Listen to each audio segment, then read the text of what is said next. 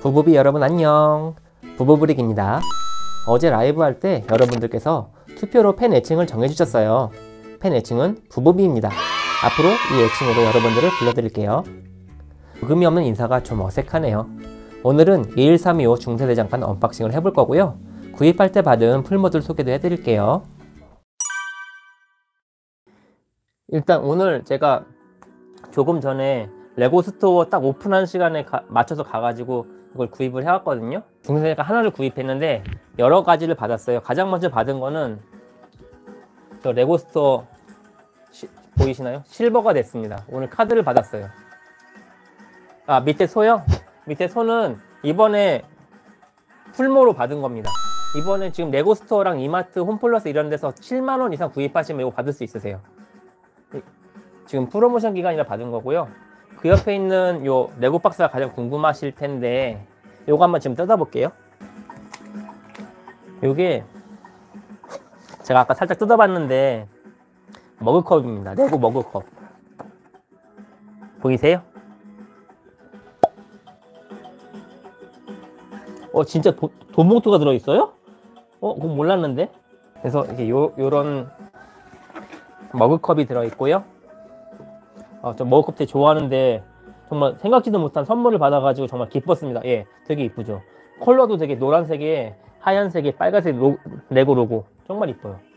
이렇게 일단 레고 아이디어 21325 중세 대장간이고요. 이게 아이디어 33번째 작품이라고 합니다. 저 몰랐는데 그 다음에 18세 이상 성인용 제품이고요.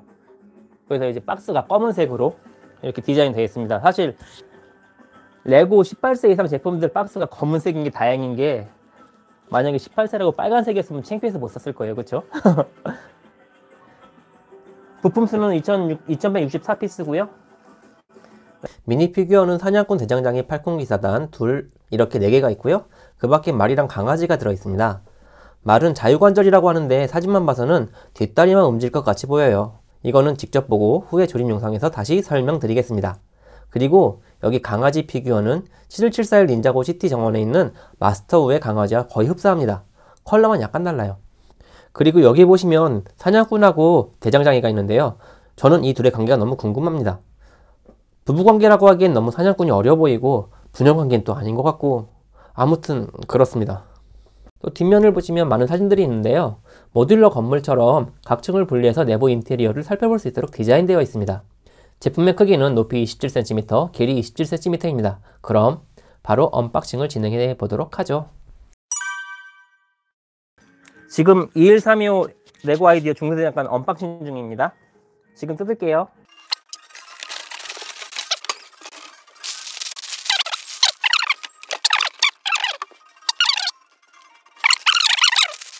일단 어, 이쪽에 인스가 있고요. 인스는 한 권입니다. 이게 총 14번 봉투까지 있는 것 같습니다. 밑판이 이렇게 있고요. 아, 14번이 마지막인 것 같아요. 14번까지 있고요.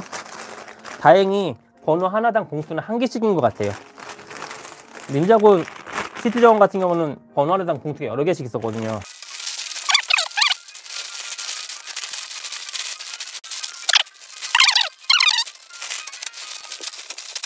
이렇게 있습니다.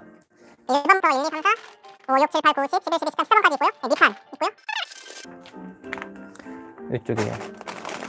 어, 이쪽에 이렇게 있습니다. 뭐 14번이면 이게 2000 피스가 넘으니까 14번 정도까지는 사실 각오를 했죠. 잠깐 인스를 좀 볼게요. 아.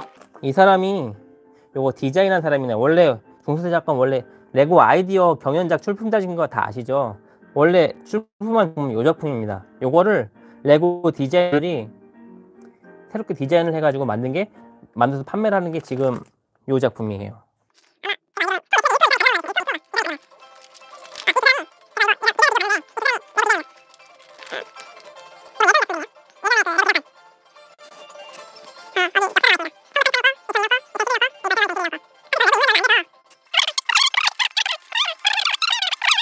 모르는 발광브릭이 들어있어서 이렇게 빛을 낼 수 있습니다. 그래서 모래 정, 모래가 정말 빨갛게 달아오르는 그런 걸 표현해 줄 수가 있어요. 요것도 되게 재밌을 것 같아요. 그리고 참고로 건전지도 들어있다고 합니다.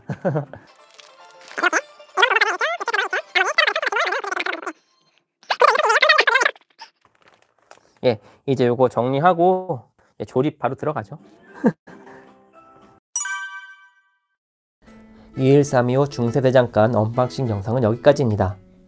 저는 다음에 조립 영상과 라이브로 다시 찾아오도록 하겠습니다. 그럼 부부비 여러분, 안녕!